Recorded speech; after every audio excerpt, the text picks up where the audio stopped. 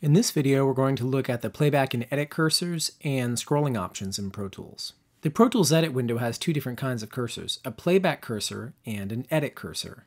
The two cursors are linked by default, but they can be unlinked if necessary. In this course, we'll be working with the cursors linked exclusively. To verify that the playback and edit cursors are linked, go to the Options menu and check that Link Timeline and Edit selection is enabled.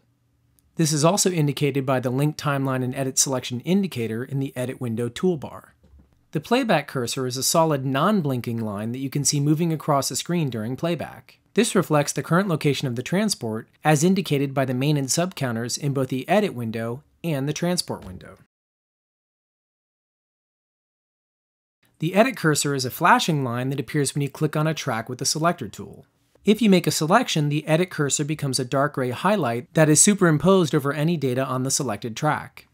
There are two ways that you can set the playback point in the session. One is by clicking directly into a track with the selector tool. The other way is to use any tool to click in the timeline display area in the edit window.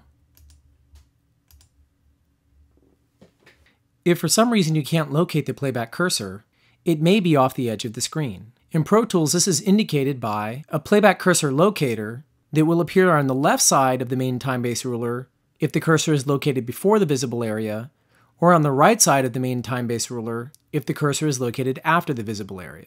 You can click the playback cursor locator to automatically jump to the cursor's current location.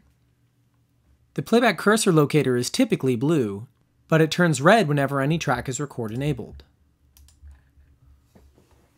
You can choose the Edit Window Scrolling option by going to the Options menu, Edit Window Scrolling, and then choosing one of the available settings.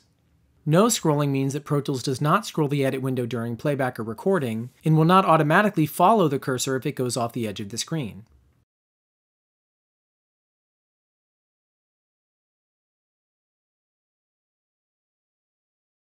After playback means that Pro Tools will not scroll during playback, but will jump to the final cursor position when playback or recording is stopped.